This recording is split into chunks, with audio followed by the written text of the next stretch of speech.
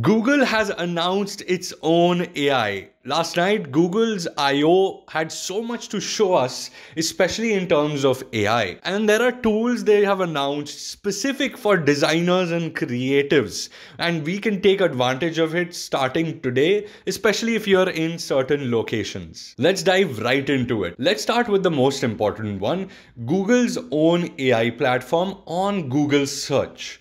So now instead of giving you only links to websites, blogs, and articles, it is going to literally answer your queries that you've made to it. So if you ask it to give you ideas for your portfolio project uh, around a certain theme or around a certain topic, it will give you ideas around projects and it will also explain how to conduct user research. It will explain how to do design or how to conduct the whole project. You can even converse with this AI. So it's not just asking, it's also conversing. So instead of just asking des- other designers for help, you can now ask uh, Google's AI for help and it will give you responsive. Unlike ChatGPT, it has the latest information, it collects actual information and data from research papers and also cites these research papers. So if there's a research paper on, say, usability analysis, which is a uh, important part of UX design, it will cite certain paragraphs relevant for you and your project. So that will be really cool and it will help you out a lot in your day-to-day design tasks, in asking for advice on something, and even doing research work. The next one is called Google Imagen. And this was again showcased on stage at Google I.O. And they basically showed how a basic text prompt was converted to an, a complete high quality, high fidelity image that was also upscaled so that you can use it on actual websites and apps, etc. Now they are promising that they'll be responsible with their AI. So this means that all the images created are unique, are not stolen from artists or stolen from photographers, and have been created by the understanding that Google has from its years of Google images, Google search, and is able to provide you relevant designs and artwork and images for you. They are using a large language model, so each image will be very accurate to your description.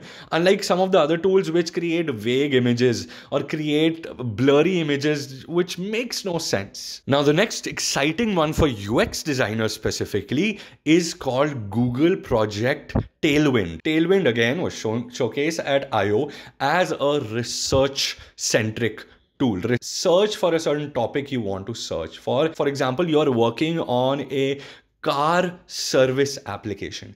And you want to study how car services all across the world are making money their business models etc it will give you research papers. It will extract information from research papers and give you summary of research papers to study only the important parts things which are important to you.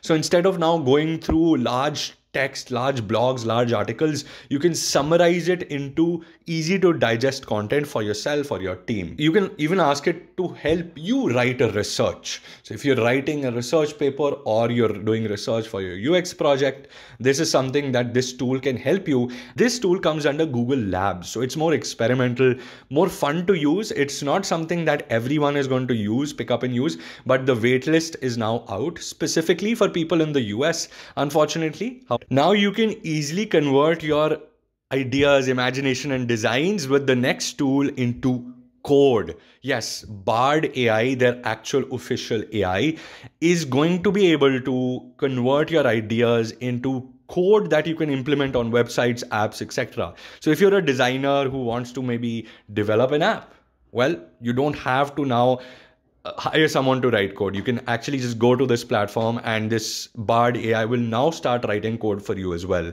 And hopefully better than ChatGPT. I tried ChatGPT for writing code for a Figma plugin I was working on. To no surprise, it was the worst experience ever. It was making so many mistakes and the code wasn't relevant to even my project. So again a failure for ai when it comes to writing code but bard ai is trying to get away from that and trying to give you actual quality code for your projects. As an added bonus to the event they showcased a new tool called duet ai now duet ai is something that sits in the background And whenever you are writing an email, making a presentation, writing docs, you can ask Duet to do stuff for you. So if you want to create a presentation on your UX projects, no longer will you have to spend one or two hours in making a presentation to showcase to uh, investors, showcase to stakeholders and other designers. You can now just ask it to make a presentation for you. Now, of course, it's not a presentation creator at its core. So you'll have to do some of the dirty work, but most of the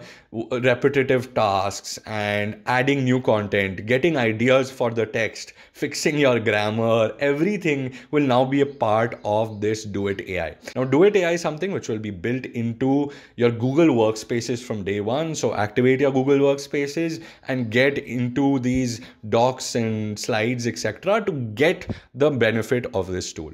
Now, I'm I'm super excited for this one because my company uses Google Workspace for most of the tasks. So this will be a nice addition to the team, nice addition, more value to the company as well. Now there were a ton of other updates, including immersive Google Maps using AI models, image editing using AI, as well as a lot of cool Android features as well. However, for that, I ask you to go ahead and check out Google I/O's video. I'll also give a summary video of the entire event by The Verge. So check out that summary video if you want to check out the whole Google I/O in like six, seven minutes. Apart from that, if you like this video, do give this a huge thumbs up and also tell me in the comments what you're most excited for out of this launch. I am really eager to know your opinions in the comments. I'll see you next time, same place, same time. Until next time, take care. God bless.